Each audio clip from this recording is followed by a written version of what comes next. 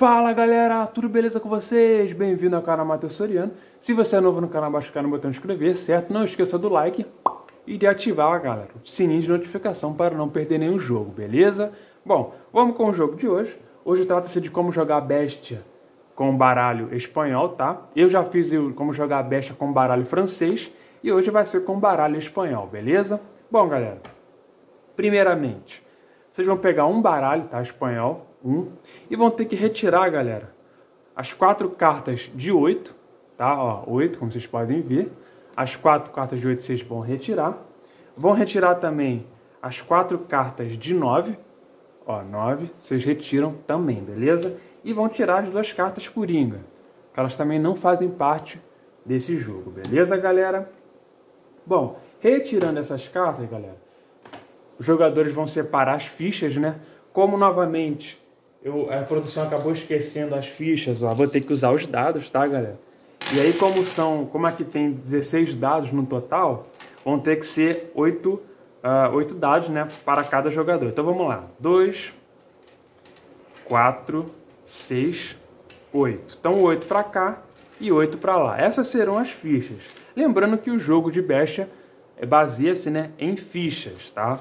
É, o, o jogo de Becha é, uma, é um jogo italiano, tá? De origem italiana e que é, assim tem a regra similar, né? É uma variante, digamos assim, do jogo de Bisca, beleza? Então, se você curtiu o Bisca, vai curtir também o Best.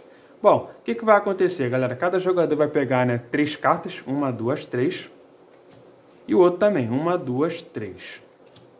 Bom, após três cartas para cada jogador, né, eu vou simular a partida para dois jogadores, vocês vão pegar mais uma carta do monte, e essa carta vai ser a carta trunfo, ou a carta bisca, né, no caso. Essa carta aqui, o, o naipe dela vai ser o predominante no jogo. Então vamos lá, galera. Nós conseguimos aqui um rei, né? De espadas, como vocês podem ver. É um rei de espadas, tá? No baralho espanhol, o rei é equivalente a 12 beleza? Enquanto que a dama é equivalente a, ao 10 aqui, certo, galera? Só que não tem a dama aqui, né? Vamos lá, galera. Então, vai ser o rei de espadas. Então, qualquer carta que tenha espadas vai ser o vencedor, beleza? Então, vamos lá, galera. Esse primeiro jogador aqui já começa, ó. Ele já tem 3 de paus, uh, o 10 também de paus e o 10 de espadas. Então, essa aqui ele vence, galera. Então ele já vai começar com essa, o 10 de, de espada, né? O outro jogador tem 4 de paus, 4 de copas e 5 de paus. Bom, ele aqui não vence nenhuma, né? Porque o naipe predominante é essa.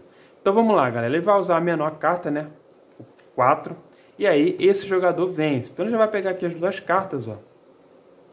Já vai deixar aqui pro lado dele. O que, que vai acontecer? Cada jogador né, vai começar a apostar 3 uh, três fichas, né? Então, sendo assim, galera, cada vitória vai ser uma ficha. Então, esse jogador aqui ó, já vai entregar uma ficha a esse, tá? Porque ele perdeu. Bom, o jogo continua, né? Como ele venceu, ele, ele vai, vai continuar a jogar. Então, ele vai jogar agora o 10 de paus. O outro jogador vai jogar o 4 de paus. E ele vence outra vez, ó. Venceu aqui pelo valor, tá?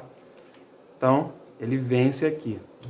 Lembrando, galera, que o ranking daqui começa com o As, tá? Que é o 1. Aí depois vai com, com 3. Aí vem depois o 12, o 11, o 10 e assim por diante, tá, galera? O 3 é a, carta, é a segunda carta de maior valor aqui. Bom, por fim, esse jogador vai jogar o 3 de paus e o outro 5 de paus. Como aquele jogador venceu o outro, ó, mais um vem para cá.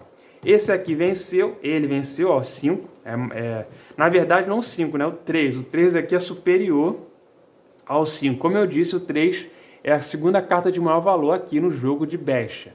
Ou seja, esse jogador vence. E ele consegue mais uma ficha, tá? Acabando com a ficha do outro jogador praticamente. Bom, terminou a primeira rodada. Cada jogador vai comprar mais três cartas, ó. Beleza? Vamos lá então, galera. Lembrando, gente, que aqui nesse jogo de besta, né, o jogador tem a opção de fugir, beleza? Então ele pode fugir aqui. Ou seja, ele não precisa jogar em uma determinada rodada, ele tem essa opção. Vamos lá, esse jogador venceu, então já vai começar ó, com 11 de espadas, tá? Vamos ver aqui o outro jogador. Lembrando que espadas aqui é o, é o naipe predominante. Beleza? Bom, esse aqui também tem. Tem o 5 de espada, porém o 11 é superior, né? Ele tem também o 12 de, de, de 12 de ouros e o 12 de paus. Bom, ele vai utilizar aqui o 5 de espadas, mas aí, galera, o 11 é superior, né? E aí ele vence. Esse jogador aqui consegue vencer e ganha mais uma ficha. Beleza? Bom, esse jogador venceu, ele continua. Então ele vai usar aqui o 1 de espadas, tá? Que é correspondente ao Ais, ou seja, a carta de maior valor. E para o outro vai usar o 12 de, de, de paus. Bom, nesse caso aqui ele vai vencer, tanto pelo valor quanto pelo naipe, né? Que é o naipe predominante, é o trunfo aqui do jogo. Então esse jogador vence, tá? Lembrando que o As, o 1 aqui, vai ser superior ao 12, tá? É o ranking aqui do jogo de bestia. Como ele venceu, galera, vocês já sabem, né? Mais uma ficha, vem pra cá. E aí aquele jogador só tem três fichas agora para apostar. Bom, por fim, esse jogador vai jogar o 5 de ouros e o outro vai jogar o 12 de ouros. Agora sim, o outro jogador vence, tá? Porque o 12 é superior ao 5 no ranking aqui de bestia, tá? Bom, ele pega as duas cartas e uma ficha daqui, ó, vai lá para aquele jogador, beleza? Bom, vamos lá, mais três cartas. Lembrando, né, o jogador que vence por último começa sempre a jogar na próxima rodada. Então vamos lá, galera, vamos ver aqui. Vamos ver quem vai se dar bem aqui nessa essa batalha, né? Bom, esse aqui vai usar ó, o 12 de... Na verdade, ele começa, né? Porque ele venceu. Então ele vai usar aqui o 7 de espadas. Esse, por sua vez, joga o 7 de ouros, tá? Ele vence por causa do naipe, tá? Como eu disse, o naipe de espadas é predominante aqui. Então, ele vence, ó, mais uma mais uma ficha vai para ele. Bom, ele continua. Então, ele vai usar agora o 11 de, de paus. E esse aqui vai usar o 12 de copas, ou seja, 12 é superior ao 11. Então esse jogador vence. Então mais uma ficha vem para cá, beleza? Bom, por fim, esse jogador vai jogar o 10 de ouros e o outro vai jogar o 7, ó, o 7 de, uh, de paus. Esse vence pelo valor ser superior, beleza? Tá aí, galera. Então mais uma ficha, ó, vem para cá. Então vamos lá, mais três cartas para o outro jogador e mais três cartas para esse jogador. Lembrando que três cartas é o valor né, máximo aqui. Bom, esse jogador aqui parece estar se dando bem, né? Aqui, ó, tem duas cartas. Na verdade, são as três cartas, né? Maior valor aqui no, no, no naipe, nesse jogo. Bom, ele vai fazer o seguinte, galera. Vai jogar 1 de, de, de ouros, tá? E aí, galera, o outro vai jogar o 6 ó, de espadas. Bom, nesse caso aqui, quem vence é o de espadas, porque espadas aqui é o trunfo, é o naipe trunfo. Sendo assim, aquele jogador vence. Mesmo que o 1 tenha maior valor, né? o naipe é o que predomina. Então ele vence, ó, mais uma ficha, vai para lá. Bom, ele começa, vai jogar o 1 de copas, e esse vai jogar o 1, no caso, né, ele pode jogar o 1 ou 3 de ouros ele resolve jogar o 3 de ouros. Sendo assim, aquele jogador vence, porque o 1 aqui é a carta de maior valor. Depois vem o 3. Então, ele vence, ó, mais uma ficha, vai lá para aquele jogador, beleza? Bom, por fim, galera, ele vai jogar o 6 de ouros e esse vai jogar o 1, que é o As, né? O 1 de paus. Esse jogador vence, porque o 1, como eu disse para vocês, é a carta de maior valor, beleza? Bom, então, mais uma ficha, volta para cá. Então põe-se mais três cartas, ó. Mais três cartas aqui e mais três cartas para cá. Bom, galera, o que, que vai acontecer? O baralho já está terminando, né? Por enquanto, esse jogador está vencendo, porque ele tem mais fichas tá, do que aquele. Então, se terminar, quem tiver mais fichas é o vencedor. Então, vamos lá, galera. Uh, como esse aqui venceu, ele começa o jogo. Então, já vai utilizar, ó, pode utilizar o 2 o 5 ou outro ele vai utilizar o 2 de, uh, de espadas.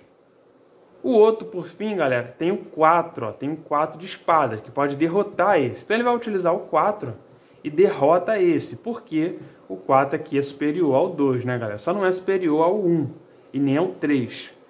Então, ele derrota para cá e uma ficha daqui vai para lá. Bom, ele vai começar de novo, ele vai jogar o 4 de ouros e esse pode jogar o 5 de copas ou taças, né? Então, esse vence é porque o 5 superior ao 4. Então, mais uma ficha vem para cá. Por fim, ele vai jogar o 3 de taças, né, de copas, que é a carta segundo maior valor, e vai jogar o 2 de, copo, de, de, de paus. Esse vence porque, como eu disse para vocês, o 3 é a segunda carta de maior valor no jogo de Bash. Então ele vence, tá? Ele derrota o adversário e mais uma ficha vem para cá. Bom, põe-se mais três cartas na mesa para cada jogador, no caso. E agora sobraram aqui três cartas, beleza? Vamos lá, vamos continuar, que ainda tem jogo pela frente. Tem muito jogo ainda. Vamos lá, galera. Esse aqui venceu, né? Então, ele já vai começar aqui com o 11, beleza? O 11 de ouros. Esse aqui, por sua vez, galera, ele vai jogar com 6 de paus, tá? E aí, ele consegue vencer, tá? O 11 derrota o 6. Vem mais uma ficha. E aí ele vai jogar o 2 de ouros e o outro vai jogar o 11 de taças, de copas, né? Aquele jogador vence. Então agora mais uma ficha vai para lá. E por fim ele vai jogar o 6 de copas e ele o 2 de copas. Ele vence porque o 6 aqui é superior ao 2. Então mais uma ficha vai para lá, beleza? Bom, sobraram três cartas. Aí vai de cada jogador, tá? Ou cada um fica com uma carta e aí decide-se mais uma rodada. No caso aqui ele vence, ó, 10 superior ao 7.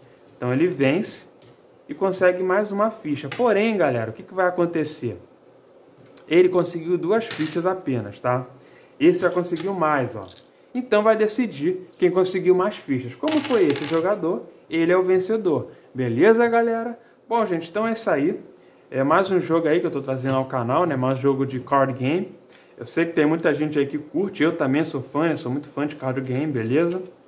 Bom, gente, então é isso aí. Espero que vocês tenham gostado. Obrigado por ter assistido até aqui. Vejo vocês no próximo jogo. Fui que fui. Bye, bye. Tchau, tchau.